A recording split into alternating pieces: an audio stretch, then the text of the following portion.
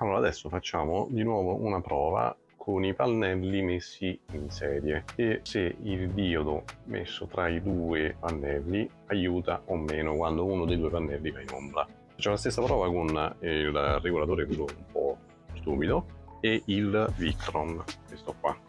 Il problema con questo regolatore è che non ti fa vedere l'amperaggio con cui carica. Mi collego ai cavi, rilevo sempre 0 A. Non capisco bene come si comporta. Dall'altra parte è un regolatore da 10 da 15 euro, insomma, non è che mi posso aspettare di meglio apparentemente va in carica perché sta a 12,6 no, non si capisce granché. Adesso montiamo il Victron al posto suo e vediamo che da qui si rilevano tante informazioni sia dello stato della corrente che scende dai pannelli e quella che lui poi fa uscire e manda in batteria. Si vede nel dettaglio. Ho collegato il Victron. Adesso uh, faccio una prova. Rimetto i pannelli in parallelo per verificare la differenza tra parallelo e serie e perché spesso è meglio andare con i pannelli messi in serie piuttosto che in parallelo. Dipende poi dalle situazioni non è detto che è sempre la scelta migliore. In questo modo collegati in parallelo il voltaggio eh, non si somma ma si somma l'amperaggio che è la parte più problematica. Che succede? Allora, il voltaggio è di qui 16 volt, l'amperaggio che esce dai pannelli è di 7 ampere e in batteria poi ne scendono, lui ne converte, riesce a convertire un po' di più, ne ricava un ampere in più, 8 ampere circa, 13 volt. Però questi pannelli arrivano fino a 170-180 watt, che significa addirittura 12-13 ampere, che cominciano ad essere importanti per i cavi. Adesso li metto in serie e vediamo quello che cambia collegati in serie i pannelli eh, le cose cambiano di molto in serie si somma il voltaggio quindi i pannelli salgono a 32 quasi 33 volt l'amperaggio che scende dal cavo dei pannelli quindi quello lungo che passa dal tetto fino a scendere al regolatore che è posizionato chissà dove nel camper. Sono solo 3 ampere molto bassi al contrario dei 7-8 di prima a parità di wattaggio di produzione. Questo che vuol dire? Che sulla calata di pannelli ho un basso amperaggio e solamente da qui a qui io ho i 7-8 ampere o i 10-13 ampere quando vanno in massima produzione. Quindi ho solo un tratto molto corto di cavo e lì ho molti meno problemi di sezione del cavo l'altra verifica che voglio fare è se in serie il diodo tra i due pannelli serve eh, realmente a qualcosa, a gestire meglio quando uno dei due pannelli va in ombra. Questi pannelli montano già di loro due diodi che servirebbero a gestire già di per sé ombreggiamenti parziali del pannello e quindi di fatto non so quanto sia necessario poi o possa essere controproducente poi aggiungere anche un, un altro diodo tra i due pannelli stessi. Come sempre se qualcuno ne sa di più c'ho sempre da imparare. Quindi adesso abbiamo la produzione dei 110 circa watt.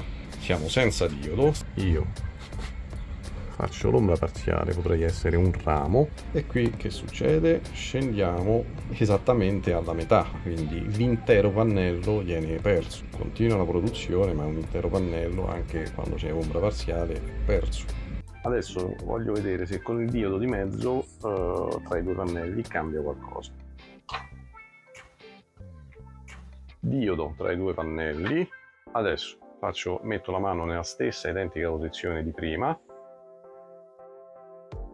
Non mi pare di vedere differenze con o senza diodo. Apparentemente peggiora la situazione, ma in realtà eh, anche da altre prove che ho fatto prima quando non riprendevo, sostanzialmente l'intero pannello viene perso, no, non cambia con o senza diodo. Tolgo la mano e la produzione riprende.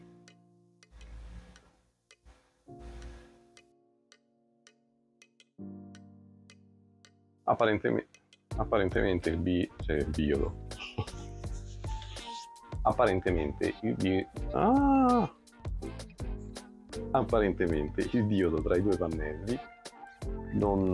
perché rido? Cazzo rido. Apparentemente il diodo tra i due pannelli non fa differenza quando c'è ombra parziale. Io ho fatto anche delle prove empiriche mettendo il diodo sulle altre, su queste altre due connessioni, ma non cambia granché il risultato. Almeno su un impianto così piccolo non, non fa differenza. C'è sempre da imparare, magari sbaglio qualcosa. Se qualcuno ne sa di più e ha qualche consiglio in più da dare per vedere aumentare la resa un'ombra parziale, magari se lo scrivete qua sotto, poi perdo tempo a fare altre verifiche.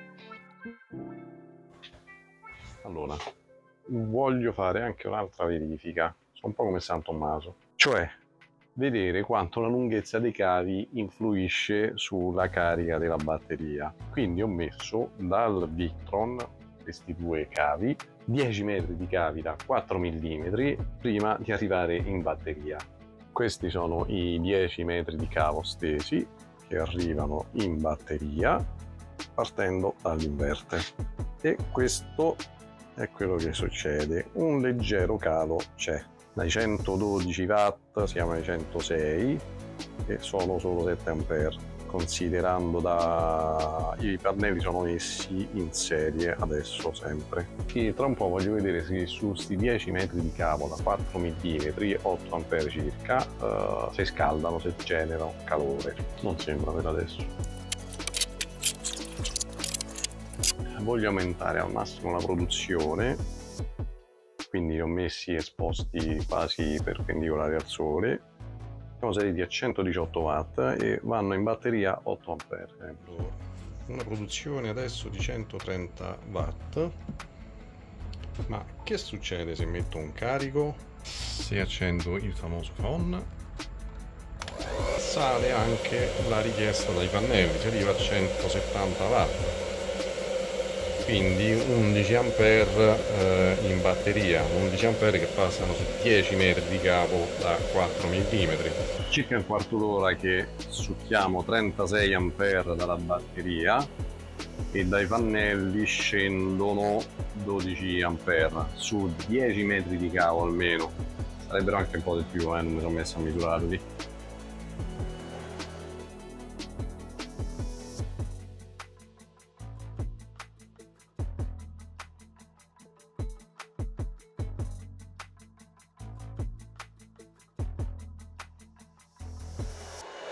questa è una prova eh.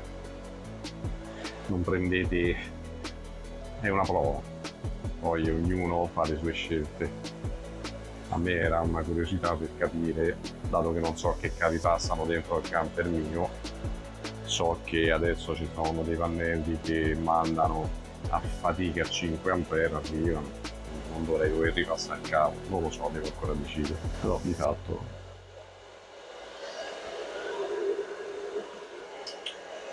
niente da roba neanche qui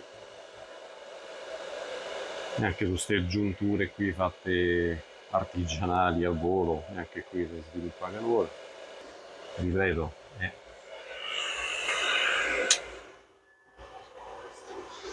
fatica l'invertere 36 watt la ventola ripeto eh, non prendete riferimenti, è solo una prova così empirica, una curiosità mia. Eh.